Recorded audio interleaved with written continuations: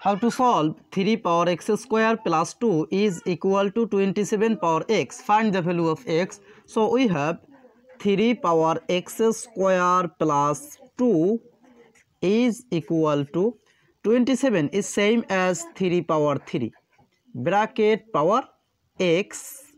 Now we can write here 3 power x square plus 2 is equal to here we can apply this formula. A power m bracket power n is equal to a power mn.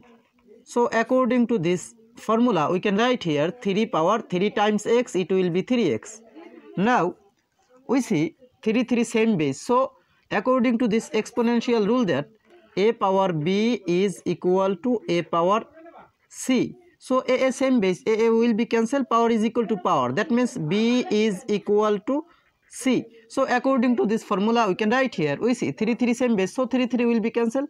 Power is equal to power. That means x square plus 2 will be equal to 3x.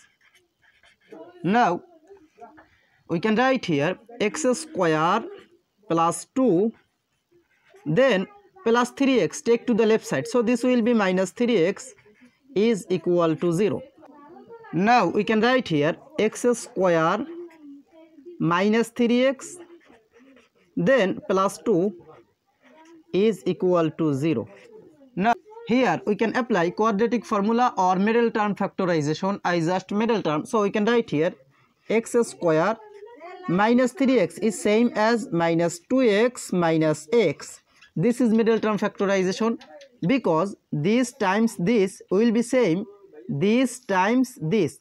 And minus 3x is same as minus 2x minus x. So this is middle term factorization. Now plus 2 is equal to 0 now here we take common. Here x is common. So x is out of the bracket. This divided by this that means x. Then minus 2x divided by x that means minus 2 then minus uh, here minus 1 is common. So minus 1 is out of the bracket. This divided by this that means x. Then plus 2 divided by minus 1 that means minus 2 is equal to 0 now we see x minus 2 x minus 2 is common. So bracket x minus 2 is out of this bracket. So this divided by this that means x. Then minus this divided by this that means 1 is equal to 0. Now we can write here x minus 2 is equal to 0 or x minus 1 is equal to 0. Now we can write here x is equal to minus 2 take to the right side. So this will be plus 2 or x is equal to minus 1 take to the right side. So this will be plus 1. So our final answer will be x is equal to 1 or x is equal to 2.